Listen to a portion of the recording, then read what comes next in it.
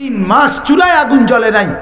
কোনো রান্না করা খাবার খায় নাই আমার ফ্যামিলি শুধু আত্মা আত্মামারুয়াল মা। আম্মাজান আয়েশা বলে, শুধু খেজুর আর পানি পানি আর খেজুর টুকু দিয়ে রসুলের সংসারে আমরা নয় বিবি এক টানা তিন মাস নবীর সংসারে ছিলাম। কোনদিন মা ও কাদাতফি আবিয়াতে রসুলিল্লাহ, নারুন নবীর কোন বিবির ঘরে চুলায় আগুন জ্বলে নাই। উম্মত, আমি দুনিয়া অ্যাকসেপ্ট করে দিছি। সুখ কাকে বলে? আহ্লাদ কাকে বলে? আনন্দ কাকে বলে? আমি কিছুই ভাবি নাই। তেইশ বছর আমি, তেইশ শত বছর, তেইশ হাজার বছরে যেই মেহনত করে আমি মোহাম্মদ একা, তেইশ বছরে তার চেয়ে কোটি গুণ বেশি মেহনত করছি। আমি দিন রাত সমান করে ফেলছি। দিন রাত সমান করে ফেলছি। দিনেও মাওলার জন্য আল্লাহর বান্দাদেরকে ডাকছি, রাতেও মাওলার কাছে আল্লাহর বান্দাদের জন্য চোখের পানি ফেলে কানছি দিনে যাদেরকে ডাকছি, রাতে তাদের জন্যই আবার সেজদায় পড়ে চোখের পানি ফেলে কানছি দিনে দাওয়াত দিছি, ও আল্লাহর বান্দা, আল্লাহর প্রতি ইমান আনো। রাতে মাওলার কাছে বলছি, ও মাওলা, এই মানুষগুলোকে হেদায়ত দিয়ে দাও। এইভাবে কষ্ট করছি। এইভাবে, হায় মুসলমান, আজ চিনলেন না নবী সাল্লামকে ষাট বছর বয়স, আমারে মাফ করবেন, পঞ্চাশ বছর বয়স, আপনার মুখে এখনও বিড়ি, আপনার মুখে এখনও সিগারেট। আপনি ষাট বছরও বিড়িখানা ছাড়তে পারলেন না। আপনি নবীকে ভালোবাসেন? এত বড় মিথ্যা কথা আপনি কেমনে বললেন? ওই মিয়া মিথ্যুক? মিথ্যুক তুই বললি কেমনে বেটা বুড়া তুমি কীভাবে নবীকে ভালোবাসো? নবীর সাথে তোমার কিসের সম্পর্ক বেটা? ষাট বছর বয়সে এখনও চায়ের দোকানে টেলিভিশনে নর্তকির নাচ দেখ না দেখলে তোমার ঘুম হয় না তোমার দিন পার হয় না তুমি নবীকে চিনো কীভাবে? তোমার সাথে তো আল্লাহ রসুলের কোনো সম্পর্ক নাই। এত হারামের টাকা, এত সুদের টাকা, এত মিথ্যা ধোকাবাজির টাকা তোমার পকেটে? তুমি আল্লাহর রসুলকে ভালোবাসো হ্যাঁ? স্পষ্ট করে বলো, নবীকে ভালোবাসো, নাকি জিলাফি ভালোবাসো? এটা পরিষ্কার করে বলো, পরিষ্কার করে। পরিষ্কার করে বলো। বলেন বাপ, গত তিরিশ বছরে মিস ওয়াকের হিসাব দেন। গত তিরিশ বছরে দস্তরখানের হিসাব দেন। গত তিরিশ বছরে তাহাজুদের হিসাব দেন। গত তিরিশ বছরে শত শতবার দুরুদ শরীফ পড়ার হিসাব দেন। হিসাব দেন। রসুল্লাহ সাল্লাহ আলহ্লামের প্রতি আন্তরিকতা কোথায় আমাদের? কোথায়? এই মহব্বত কাকে বলে?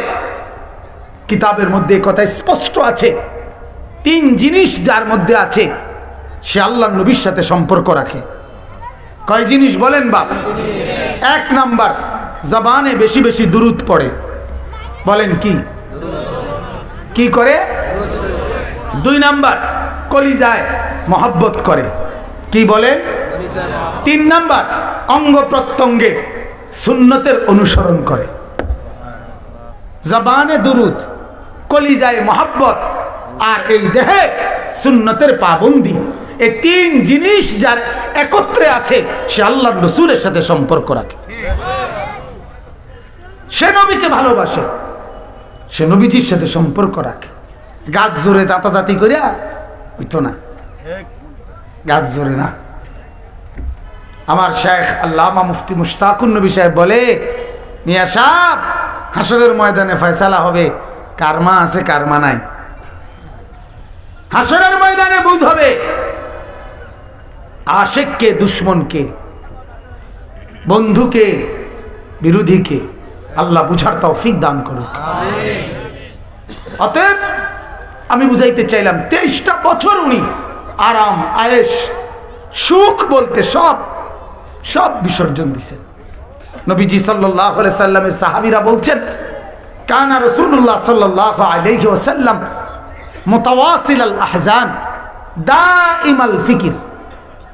নবীজির আদত ছিল, সাহাবিরা বলেন, আল্লাহর নবীর দিকে তাকালেই কেউ বলতো, বুঝতো যে তিনি কি যেন চিন্তা করতেছেন, সারাক্ষণ ফিকির করছেন। এই ছিল আল্লাহর নবীর চেহারার স্বাভাবিক দৃশ্য। দেখলেই মনে হইতো যে কি যেন ভাবতেছে। দেখলেই মনে হইতো যেন কি যেন চিন্তা করতেছে। হাসবে কখন? হাসবে কখন? ফুর্তি করবে কখন? হাদিসের মধ্যে মেশকাতে আমি নিজে পড়াইছি।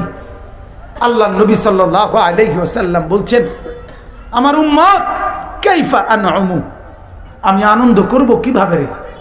আমি ফুর্তি করি কেমনে? ও সাহিবু সুরে কাদ ইলতাকামাহু। আমি নিজ চোখে দেখছি, উম্মত, ইসরাফিল সিংহা মুখে দাঁড়ায় আছে। ও হানা জাবহাতাহু। চোখ কপালের দিকে, কপাল নিচে চোখ নোয়া রাখছে। আসগা সামাহু কান খাড়া করে রাখছে। ইয়ান্তাজিরু মাতা ইউমারু বিন নাফখে। অপেক্ষা করছে ইসরাফিল, কখন তাকে মাওলা বলবে? ইসরাফিল, দে ফু দে, সাথে সাথে ফু দিবে। এই অবস্থায় প্রস্তুতি দেখে, ইসরাফিলের মুখে সিঙ্গা দেখে আমি ফুর্তি করি কেমনে? যদি এই মুহূর্তে ফু যে মুহূর্তে আমি টেলিভিশনের আড্ডায়, যে মুহূর্তে আমি মদের আড্ডায়, যে মুহূর্তে আমি নাফরমানির আড্ডায়, মালিক যদি বলে, ইসরাফিল, আর সইতে পারলাম না, দে ফু দে। তখন কি হবে আমার? কি হবে আমার? এজন্য বাপ, নবীজি সাল্লাহ আলাইসাল্লাম এটা বলছেন, ইসরাফিলকে এই অবস্থায় দেখে, উম্মত, আমি আনন্দ কেমনে করি? আমি ফুর্তি করি কেমনে? মোমেনের আবার অপশন কি? আল্লাহর কসম দোস্ত, মোমেনের কোনো অপশন নাই। ইমানদারের হায়াতে ইমানদারের কোনো অপশন নাই।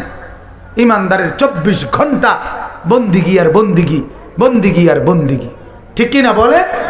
নামাজ, ওয়াক্ত নাই, জিকির করবেন? রোজা, এখনও সময় হয় নাই, জিকির করবেন? জাকাত আমার উপরে ওয়াজিব হয় নাই, জিকির করবেন? হজ আমার উপরে ফরজ হয় নাই, জিকির করবেন? কোরবানি এখনও আসে নাই, জিকির করবেন? ইমানদারের চব্বিশ ঘণ্টার স্বাভাবিক একটা ডিউটির নাম, ইবাদতের নাম তো হলো মাওলার জিকির, এটা বন্ধ করার কোনো সুযোগ নাই।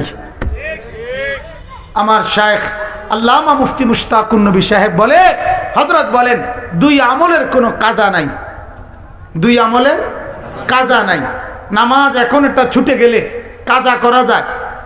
কাজা করা যায় না? দুই আমলের কোনো কাজা নাই। এক, জিকির। আল্লাহর জিকির ছুটে গেলে এটার আর কাজা নাই। আজকে নয়টা বাজে যে জিকির আল্লাহকে ডাকার কথা, এটা আপনি করেন নাই, আল্লাহকে ডাকেন নাই, তো আগামীকাল নয়টা বাজে যদি এটার কাজা করেন, তো আগামীকাল নয়টার জিকির কখন করবেন? কথা বুঝেন নাই আমার? তাহলে জিকিরের কোনো কি নাই? কারণ আপনার উপরে তো জিকিরের হুকুম সব সময়। জিকিরের হুকুম কখন কখন? সব সময় সব সময়। দুই নাম্বার হলো মহিলাদের পর্দা, এটার কোনো কাজা নাই। পর্দার কোনো কি নাই? পর্দা করা এটা শরীয়তের একটা বিধান কিনা? আল্লাহর হুকুম কিনা বলেন না? এখন এই যেই মহিলা শনিবারে পর্দা করে নাই এবুড়ি এই পর্দার কাজা রবিবারে করিলে তো রবিবারের পর্দা বুঝেন নাই কথা? সোমবারে করলে কাজা সোমবারে তো আপনির উপরে পর্দা ফরস এটা শাহেখে বলেন যে পর্দার কোনো কি নাই? কাজা নাই। জিকিরের কোনো কি নাই। তাহলে মোমেনের কোনো বিশ্রাম নাই। মোমেনের কোনো বিশ্রাম নেই। পাকিস্তানের বিশ্ববিখ্যাত বুজুর্গ হজরত মৌলানা জুলফিকার আহমদ নকশবন্দি দামাত বারাকাতহুম হজরত দামাত বারাকাতহুম বলেন মোমেনের জীবন তিন ভাগে বিভক্ত। ইমানদারের হায়াত মেহনতের ইমানদারের কবর বিশ্রামের ইমানদারের জান্নাত আরামের। মোমেন মেহনত করবে দুনিয়ায় বিশ্রাম করবে কবরে আরাম করবে জান্নাতে কমতে কি কইছি কন দুনিয়াতে কি করবে কোথায় কি কবরে বিশ্রাম বিশ্রাম কোথায় একটু বিশ্রাম আর একটু জিরানি আরে আর আরাম বলেন আলহামদুলিল্লাহ وقالوا الحمد لله الذي أذهب عنا الحزن ইন্না রব্বানা লাগাফুরুন শাকুর। রব্বুল আলমিন বলেন, আমার জান্নাতি বান্দা, জান্নাতে যেদিন পুরাপুরি ঢুকবে, জান্নাতের মধ্যে ঢুকতে পাইরা এরপরে চূড়ান্তভাবে বলবে, আলহামদুলিল্লাহ, আল্লাহ আপনার প্রশংসা আল্লাদি আদহাবান হাজান আজকে গিয়ে সমস্ত চিন্তা জীবনের তরে দূর হইল। আল্লাহ ভয়ে ভয়ে ছিলাম দুনিয়ায়, কবরেও, হাসরের ময়দানেও, মিজানের পাল্লার সামনেও, আমল নামা দেওয়ার সময়েও। এমনকি মাওলা তিরিশ হাজার বছরের ফুলসিরাত পার হওয়ার রাস্তায়ও ভয়ে ভয়ে ছিলাম। না জানি পড়ে যাই কিনা, না জানি পড়ে যাই কিনা। আজ যখন জান্নাতে ঢুকলাম, এখন আমি বুঝে গেলাম, খালিদিন আবাদা। এটা আমার চিরস্থায়ী মঞ্জুর হয়ে গেল। কাজে চিন্তা দূর হল। তাহলে মোমেনের নিশ্চিন্ত হবে যেদিন ঢুকবে জান্নাতে। মোমেন নিশ্চিন্ত হবে, কোন দিন বলেন না? জান্নাতে ঢুকবে যেতে। মোমেনের কামিয়াবি, ফৌজ, সফলতা, আল্লাহর কসম, যেদিন জান্নাতে ঢুকবে সেদিন। ফামান জুহজিহা ফাজা। আল্লাহ বলে, হাসরের ময়দানে, বিচারের মাঠে যাকে জাহান্নাম থেকে মুক্তি দেওয়া হবে এবং জান্নাতে প্রবেশ করা হবে করানো হবে। ফাকাত ফাজা, সেই কামিয়াব হলো, সেই সফল হলো, সেই কৃতকার্য হলো। তিন ফুট বিয়ে দিয়া, তিন ফুট বিদেশ পাঠাইয়া, চারটা মাইয়া বিয়া দিয়া, চার রোমের একটা বিল্ডিং করা সোফা, খাট, পাট পালং সালং সাজাইয়া, এখন আর উনি নিশ্চিন্ত, আর আমার চাওয়ার কিছু নাই। খোদার কাছে যা যা চাইছি খোদা সব দিছে। যেটা যেহেতু এখন আর চাওয়ার কিছু নাই, এখন আপনি কি করেন? এই জন্য হুজুর, হাতে যেহেতু কোনো কাজ নাই যেতুর সম্ভব, সাদওয়ানে বিড়ি খাই আর গপ মারি। কারণ আপাতত যেহেতু কোনো কামও নাই মৃত্যুও হইতেছে না, মরতেও আসি না, কি করেন একটা করতে হইব। আমরা তো নিশ্চিন্ত দুনিয়া যে উদ্দেশ্যে আসছে, উদ্দেশ্য তো ফিল ওনার টার্গেট তো কি হয়ে গেছে? ফিল হয়ে গেছে। টার্গেট ফিল তিন ফুট বিদেশ, আল্লাহর রহমতে আর কিতা চারো গামাইয়া বিয়া দিছে, আর সমস্যা কি? চারটা রোমওয়ালা বিল্ডিং করছে, আমারে বলছে, কজোর, চারটা রুম করছি, প্রত্যেকটার মধ্যে বাথরুম। সুভান আল্লাহ মানে এটা যে বলছে, মনে হয় যেন উনি সাত সমুদ্র, তেরো নদী বিজয় করছে, যে প্রত্যেক রোমে একটা একটা বাথরুম দিতে পারছে। এই দুনিয়ায় ওনার চাইতে বড় সফল ব্যক্তি আর কে হইতে পারে? যে তার জিফুত নাতি নাতনির জন্য। যে রোমে ভাত খাইব, ওই রোমে ফেসাব পায়খানার ব্যবস্থা করতে পারছে এত বড় সুখের ব্যাপার আর কি? এত বড় নিয়ামত আর কি হইতে পারে? খাইব যে এনে মুদবো হেনে বলেন নৌজুবিল্লাহ এটাই কামিয়াবি? এটাই কামিয়াবি? হায় হায়। আমি প্রতিদিন বলি, চিৎকার করে করে, যে বাপ, এই কাগজের প্রতিদিন একবার এটা বলি। এই কাগজের এই পিঠ এটা আমি বড় চমৎকার করে সাজাইলাম। এই কাগজের এটাও তো একটা পিঠ। কথা কর না? এই কাগজের এই পিঠ যদি এ পিঠ এটা আর একটা পিঠ না? তো এই পিঠ খালি না? তো এই পিঠ খালি কেন?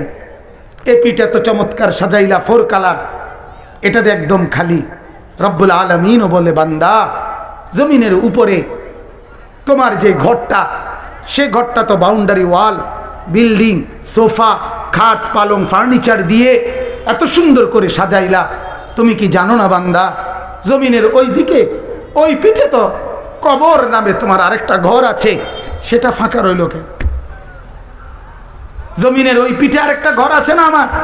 কথা বলেন না, সে ঘর কবর, সেটা ফাঁকা কেন? সেটা এরকম খালি কেন? এ ঘর যদি সাজে জমিনের উপরের ঘরটা যদি সাজানো হয়, সোফা দিয়ে আল্লাহর কসম, জমিনের ওই পিঠের ঘর কবর সাজাইতে হবে। সেজদা দিয়ে সেজদা দিয়ে, সোফা দিয়ে না, সোফা দিয়ে উপর সাজে, সেজদা দিয়ে কবর সাজে। গোলামি দিয়ে, বন্দিগি দিয়ে, আখরাতের ফিকির দিয়ে, হালাল রোজগার দিয়ে, আল্লাহকে ডাকার মাধ্যমে, জিকির তসবি তিলাওয়াতের মাধ্যমে দান আর সদকার মাধ্যমে কবর সাজে। তাহলে এ ঘর তুমি সাজাইলা সে ঘর কেন খালি রাখলা? আল্লাহ আমাদেরকে বুঝ দান করেন। তো আমার বাপ আল্লাহ তালা বলেন নবী বলেন তো এদেরকে যে আমি আল্লাহ আপনি রসুল্লাহর উপরে যা কিছু নাজিল করেছি এই যা কিছু মানে অনেক অনেক এই তেইশ বছরে যা কিছু আপনার কাছে আমি দিলাম এটাকেই একমাত্র সঠিক নিজের জন্য যে মনে করে, আর এটাকে যে নিজের জন্য সঠিক সত্য বলে মনে করে না, গ্রহণ করে না, উভয় কি সমান? আবারও বলেন না। সমান? তার মানে কি? পার্থক্য আছে। না মানে তো এ কথাই, নাকি? পার্থক্য আছে কি না বলেন? আল্লাহ তালা বলেন, পার্থক্য কি? এই দুইটার মধ্যে আপনি রসুলকে মান্যওয়ালা আপনার উপরে যা প্রেরণ করেছি, এটাকে গ্রহণকারী আর এটাকে বর্জনকারী এই দুইজনের মধ্যে পার্থক্য হলো, আল্লাহ বলেন, একজন হলো চোখওয়ালা, আরেকজন হইল অন্ধ। একজন কিওয়ালা, আরেকজন কি? এ- একসাথে আল্লাহ কথাটা বলে দিছে। কামান হুয়া আমা।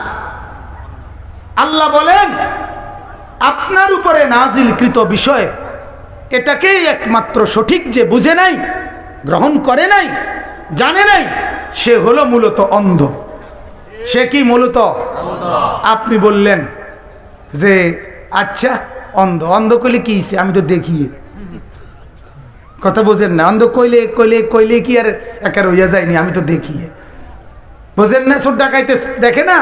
তো এইতে না, আল্লাহ বলে নাফরমান আল্লাহর নবীকে গ্রহণ করে নাই, আল্লাহর বিধান গ্রহণ করে নাই। সে হলো মূলত কি? অন্ধ।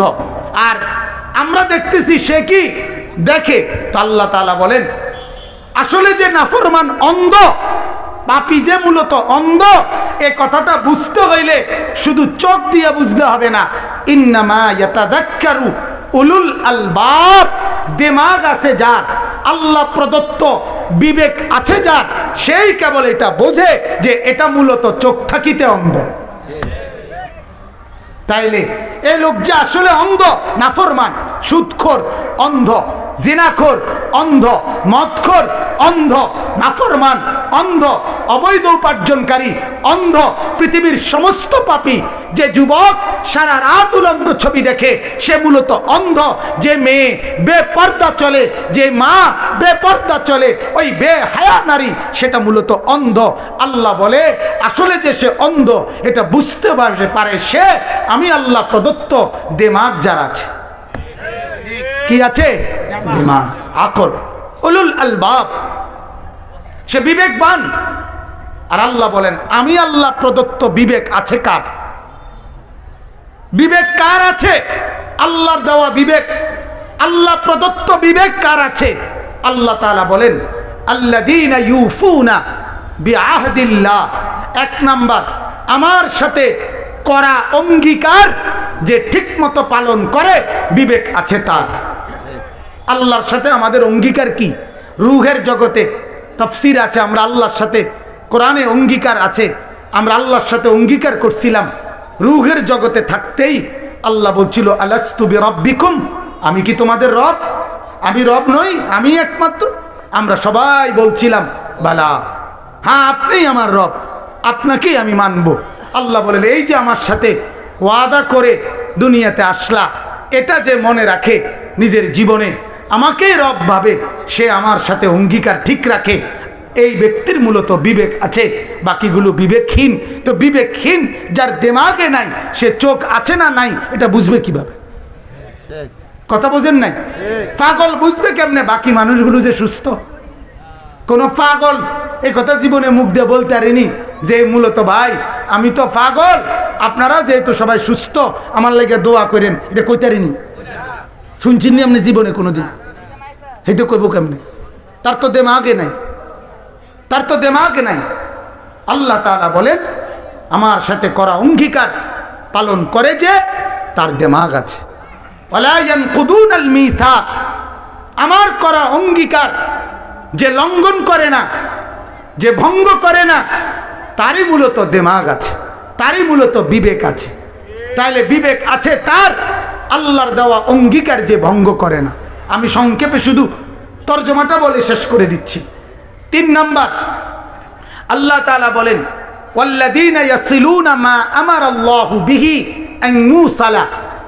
জমিনে থাকাকালীন আমি প্রত্যেকটা মানুষকে যার যার সাথে সম্পর্ক বজায় রাখার অনুমতি দিয়েছি, আদেশ দিয়েছি, তাদের সাথে সম্পর্ক বজায় রাখে যে বিবেক আছে তার। মা, বাবা, স্ত্রী, সন্তান, ভাই, বোন, আত্মীয়, স্বজন, পাড়া প্রতিবেশী, বন্ধু, নিকটজন, হালাল, বৈধ, যতজনের সাথে সম্পর্ক রাখতে আমি আল্লাহ অনুমতি দিয়েছি, আদেশ করেছি, তাদের সাথে সুসম্পর্ক বজায় রাখে যে বিবেক আছে তার। সে মূলত কি? বিবেক বিবেকবান সে মূলত বিবেকবান। সে বিবেকবান। চার নাম্বার, আল্লাহ তাআলা বলেন ওয়াকশাউনা রব্বাহুম। আমি রবকে একমাত্র যে ভয় করে, বিবেক আছে তার। চার নাম্বার কি বলেন না? আল্লাহকে যে কি করে? পাঁচ নাম্বার, এগুলো সবগুলোর ব্যাখ্যা আছে, আমি শুধু তর্জমাটা বলে দিচ্ছি। ওয়া খাফুনা সু আল হিসাব। পাঁচ নাম্বার, আল্লাহ তাআলা বলেন, কেয়ামতের দিন হাসরের ময়দানে হিসাব কঠিন হবে। হিসাবের এই ভয়, হিসাবের মন্দনী হইয়া যায়। হিসাবে নিধরা খাইয়া যায়। এই ভয় সারাক্ষণ যার কলিজার মধ্যে ভীত থাকে, বিবেক আছে তার। না জানি হজরত ইব্রাহিম মতো নবী, আরে বাপ, আমার শায়েখ বলে, হাসরের ময়দান বাপ, মামার বাড়ি না, শ্বশুর বাড়ি না, হাসরের ময়দান, তামসার কোনো মাঠ না, খেলাধুলার মাঠ না হাসরের ময়দান, ওই ময়দান, যে ময়দানের ব্যাপারে ইব্রাহিম আলাইসাল্লামের মতো নবী আল্লাহকে বলছে, আল্লাহ, আমি জানি আপনি আমাকে বন্ধু বানাইছেন। আমি জানি আমি আপনার খলিল। আপনি বলছেন আমাকে আপনি বন্ধু বানাইছেন। আপনি আমার ইজ্জত দিছেন জানি মাওলা।